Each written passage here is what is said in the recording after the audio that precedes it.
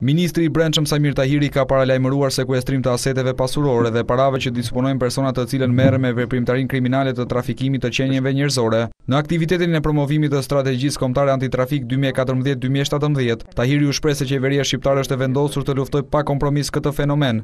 Objektivi ynë duhet të jetë të ndjekim paranë dhe të heqim paranë nga qarkullimi Dhe këtu flas për paranë e pisët që vjen nga trafikimi i qenieve njerëzore.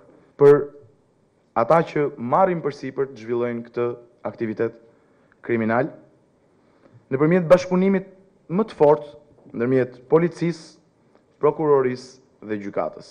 Ambasadori amerikan Aleksandër Arvizu u shpreh se mbështetja për qeverinë shqiptare dhe agjencitë ligjzbatuese do të mbetet maksimale. Janë tre pika kryesore për luftën antitrafik. Duhet që prokuroria dhe gjykatat të rrisin bashkëpunimin, pasi rastet e hetuara duhen dënuar. Duhet të rritet mbështetja dhe numri i personave të trafikuar të cilët ndihmohen, si dhe duhet të ketë mbështetje më të madhe për organizatat joqeveritare. Nga ana e tij, ambasadori anglez kërkoi që të mos abuzohet me kërkesat për azil drejt vendeve të BE-së, ku shumë shqiptarë të cilët kanë pretenduar se kanë qenë viktima të trafikut, kanë rezultuar se kanë gënjyer. Pretendimet e rreme në lidhje me trafikimin e qenieve njerëzore nuk janë krime pa viktima. Ato dëmtojnë reputacionin e vendit, duke dekurajjuar turizmin dhe investimet e huaja.